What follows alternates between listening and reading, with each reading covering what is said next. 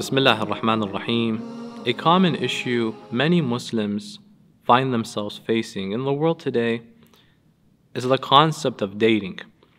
From the outset, many will see a lot of benefits when it comes to interacting and engaging in this sort of behavior. One finds it easier to get to know someone before establishing a permanent relationship. Alongside that, they make a new friend. They also enjoy moments of entertainment and go out for leisure and whatnot. So, from the outset, as promoted and as accepted as this concept may be in today's social circles and social societal norms, Islam will accept otherwise. Now, a common theme is why is it every single medium towards what I want to achieve, Islam really has to add impediments or pitfalls or obstacles. Well, the reality is ultimately Islam Ahlul Bayt only wants the benefit for us, only wants what's best for us. So there isn't any pitfall or obstacle in our way except that Allah found great reason and wisdom behind that. What would be some of these wisdoms or areas of hikam that Allah subhanahu wa ta'ala have put forth in me making my way towards potentially finding a future spouse. At the end of the day, isn't that what Islam calls for? What Allah subhanahu wa ta'ala highly recommends. We might even read traditions that suggest marriage is half of one's faith. Ultimately, in the world today, people do not engage in such behaviors, dating with the 100% genuine intention of getting married. Statistics all claim and show that in the process of dating, many individuals do not end up getting married. It ends sour. It doesn't go in the partner's favor. In addition to that, alongside the contemporary and practical reasons why Islam put this to the end, or did not necessarily highlight this as amongst the ideal behaviors a Muslim should engage in, there are spiritual ramifications. In which sense of the way? To intimately experiment with another individual to figure out whether they are suitable to be a potential spouse with you or not is compromising to your own integrity and identity. There is an idea of sharaf and honor that every human being has been endowed with. Allah subhanahu wa ta'ala made it extremely clear. We have made and honored the children of Adam. وَلَقَدْ كَرَّمْنَا بَنِي Adam. In addition to that, we all act as Allah's vicegerents to a degree for all of His creation. We carry with ourselves integrity. We are more valuable. In addition to that, you are more valuable than to go around and intimately experiment with others. The common response might be then, how am I to understand whether someone is suitable for me? How can I, for lack of better words, test the waters before I dive into the deep end? Where Islam put a few obstacles or pitfalls or impediments in certain areas, it has opened doors for us in other areas. For truly, the more we open and go through the doors of Islam Ahlul Bayt, we will find the rich wisdom as mentioned previously as to why Allah subhanahu wa ta'ala has permitted some and has not allowed for others. A great alternative is to begin by asking the question to yourself wholeheartedly what is your intention? Is it simply to engage with social, societal expectations of by this age you have to be with someone intimately? By your college years or by the end of university, you must have found someone. Come, Valentine, come, come Valentine's Day, you should not be alone. These are social societal expectations pushed forth and motivated by the industries of social media, of what is to be expected with youth these days. And we are not subject and malleable to be affected by other people's expectations. We have more integrity than that. So we begin by asking ourselves, why do we seek to approach a potential candidate for someone who will be ultimately your lifelong partner. If you're approaching someone with the intention of marriage, then there are ways Islam has told us and recommended to us to approach certain individuals. Number one, you are not marrying only them, you are marrying their family, their children if they have. You are marrying their parents. You are combining their family with your family. This is something that three fourths of individuals who engage in dating do not consider. Couldn't care less.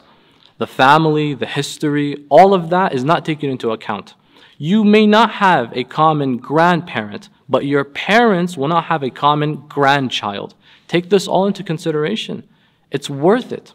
At the end of the day, yes, Islam does call for the completion of half our religion by getting married, but the means will not justify the ends if it's done in a way that is inappropriate. And in today's society, very, very inappropriately behaved. There are ways to maintain your integrity and honor by not intimately experimenting with others. That's someone's daughter, or you, the sister, have to consider that men out there may not necessarily want the ultimate good that you both should look for, or the, the goodness that is the afterlife, the goodness that is what Allah expects from us. Sometimes it is guided by lustful desires. Sometimes it is guided by intentions to fulfill expectations of social societal norms. We must begin by asking the question what is it that you want? You want a partner? Well, there's a way to do so.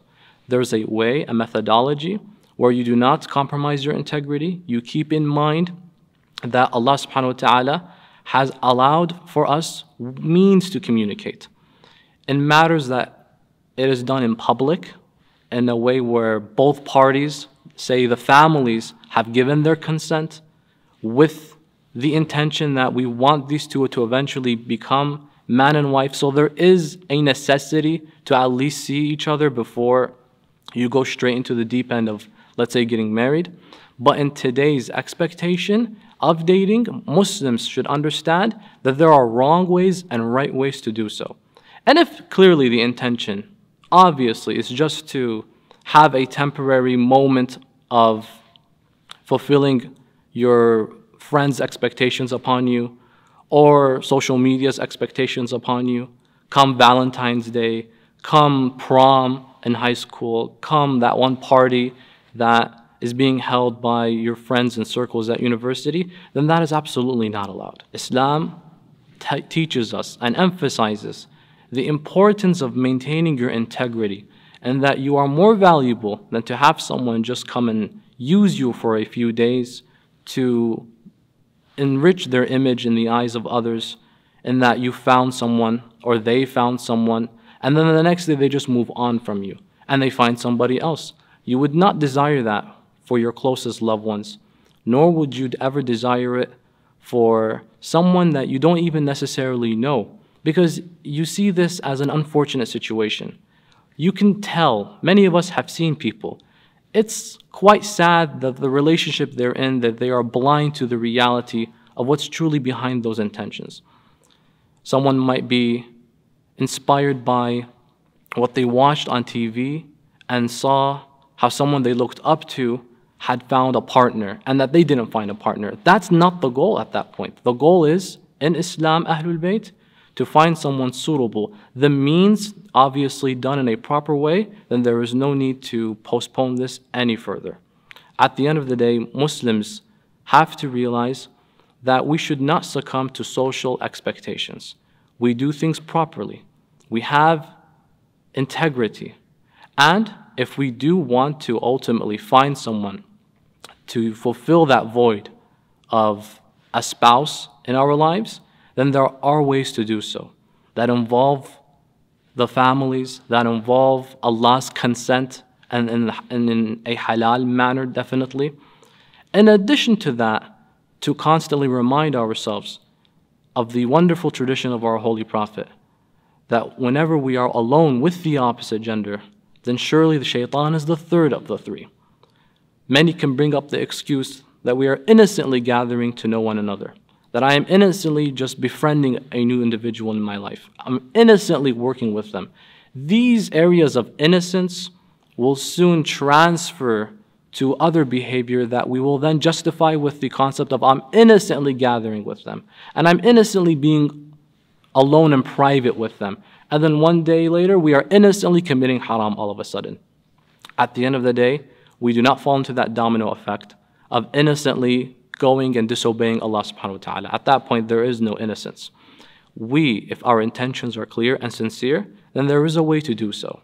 However, dating, as understood, widely and accepted, in today's society, there's very little room for any sort of reliable and safe measures, barring the risks of abuse and harassment, pregnancies unexpected, our integrity should be at the forefront of any action we engage in.